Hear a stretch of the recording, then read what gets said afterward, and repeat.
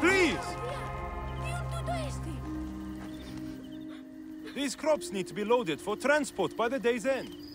A little more than a moment of my time, don't you think? I'm sorry. We are normally two, but my son cannot keep up. One thing at a time. Let your boy rest.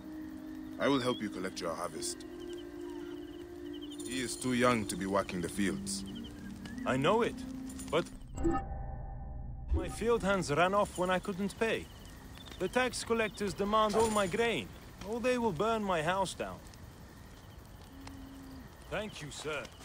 Now I'll be able to pay Sefetu's dogs off. This time at least. Tell me about these tax collectors.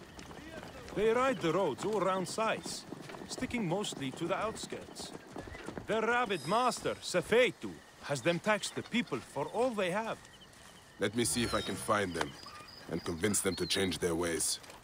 You work on your farm and raising your boy. Yes, Ned. Now that he can get some rest, I think my boy will get back his strength. The gods praise you.